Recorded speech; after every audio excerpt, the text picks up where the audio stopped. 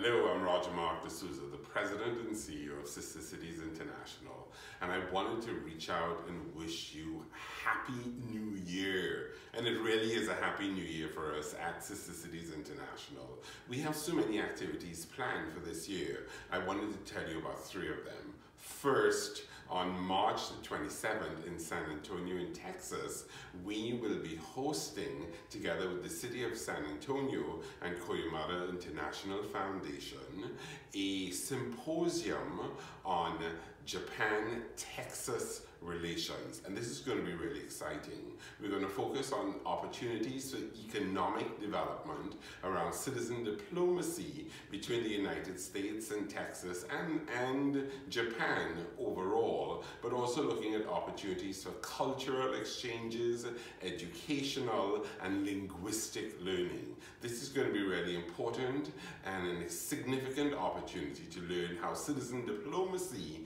between Texas and Japan can make a real difference. Second, we have launched our Young Artists and Authors Showcase with the theme of Global Citizens Resilient Communities. What a great theme.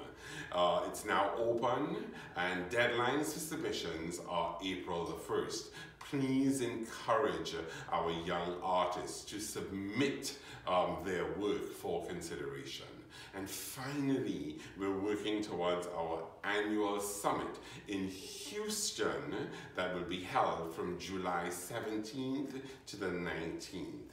The theme is Cities Mean Business. We're going to look at the economic return on citizen diplomacy, what it means for trade and investment, for arts and culture, for community development, and for youth engagement and leadership. Of course, we will have in parallel our Youth Leadership Summit that we are hosting with Rice University.